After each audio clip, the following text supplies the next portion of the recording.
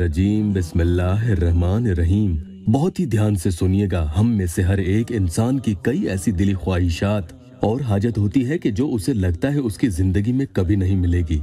मगर ये सरासर हमारी गलत सोच है। जी हाँ ऐसा नहीं है।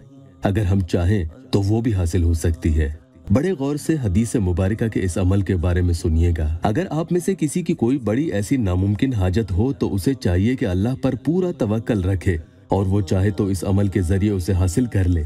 इस अमल का तीर ऐसा ठीक ठीक निशाने पर जाकर लगेगा कि इसके दिन पूरे होने से पहले ही उसे जो मांगेगा अता कर दिया जाएगा। इनशाला और खास तौर पर अभी रमज़ान में पढ़ना शुरू करेंगे तो अल्लाह ज़रूर नवाजेगा। ज़्यादा कुछ खास आपको नहीं करना है, बस जोहर की नमाज़ के बाद जब आप जोहर की नमाज़ अदा कर लें, यानी सुन्नत वगैरह पढ़कर जब फारिग हो जाएँ तो उठे नहीं, बल्कि जानमाज पर वहीं दो जानू बैठे रहें और बैठे बैठे दिल में उस हाजत की नियत रखें और या हयु या कयूम बेरहमती के अस्तगीस पढ़ लें। हाँ एक बात और मैं बताता चलूँ, इसे पढ़ने की इजाज़त लेने की ज़रूरत नहीं है, मगर कमेंट्स में सुबह अल्लाह ज़रूर लिख दीजिए। अल्लाह आपकी जायज़ हाजत पूरी करेगा।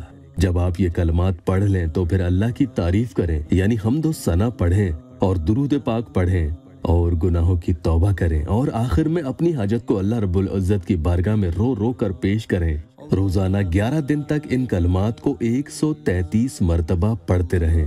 इंशाल्लाह उससे पहले ही आपका काम हो जाएगा।